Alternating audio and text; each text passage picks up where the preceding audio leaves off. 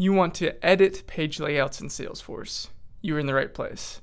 Welcome to Salesforce Help Club. I'm Isaac, and this is a two minute tutorial.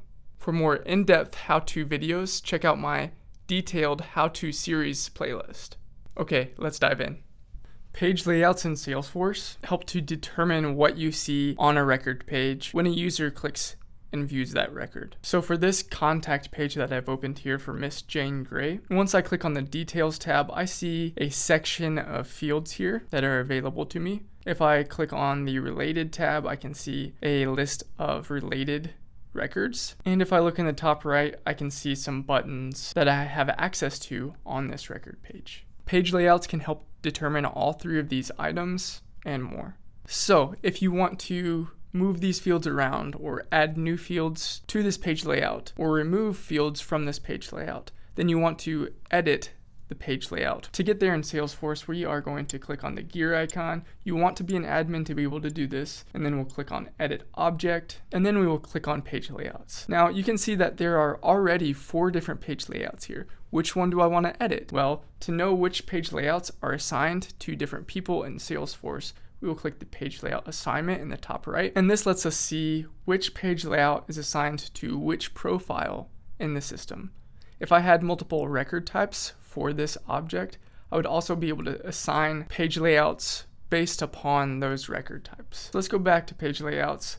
Let's just edit this standard contact layout because that's the most used in those assignments. Now, before I scroll down to show the actual page layout, I wanna show the toolbox up here at the top. This shows me a library of fields that are available, buttons and quick actions, related lists that are available for me to drag onto this page layout. So as I scroll down on this page layout, I'll see the fields and how they're broken up on the page layout. Then I'll see the related lists down here below in order, and then I'll see the buttons and actions up here at the top. So to change where fields are, all I have to do is drag and drop. Let's say I want that preferred name up here closer to the name field. I can just drag that up. Let's say I don't care about birth date. That's not something that my business cares about. So I'm gonna go here.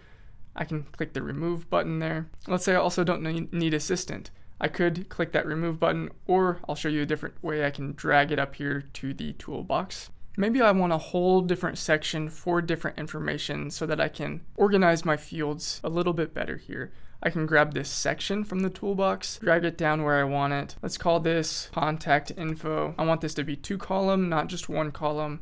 And I want it to tab left to right instead of top down. Let's hit OK. Now I'll grab these contact phone numbers here, as well as the fax, email, and assistant phone, so that I can have it in its own section here and just to organize this, I'm going to bring the department, the title, reports to, and the account name over here to the right side.